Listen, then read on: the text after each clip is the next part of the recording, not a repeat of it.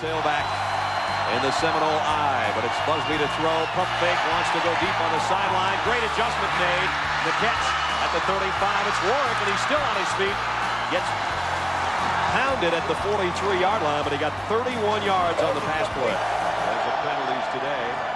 From the fourth against Clemson on the afternoon. Busby to throw, going deep sideline, and it's caught inside the 30, and it's Warrick.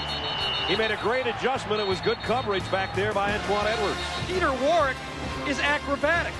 He goes up and gets this ball. He has a 37-inch vertical, a Michael Jordan type vertical, and he just goes up over Ward on a ball that again was slightly underthrown. And then he comes back and grabs a face mask. But that was just wonderful.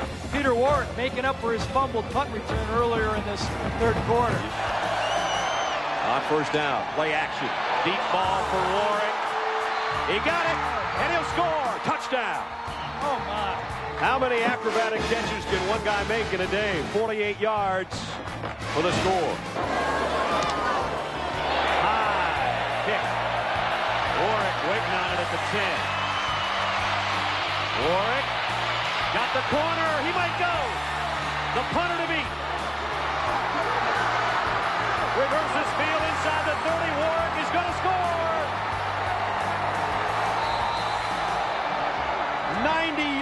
yards, touchdown. Sometimes he can't make the easy plays, but boy, can he make the big plays.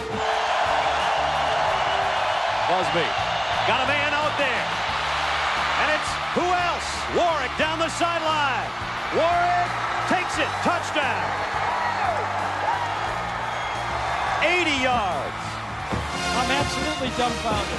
I have never seen so much air go out of such a big orange balloon in my life. 372 all-purpose yards. And Peter Warrick is not going to need a jet to fly home after this one.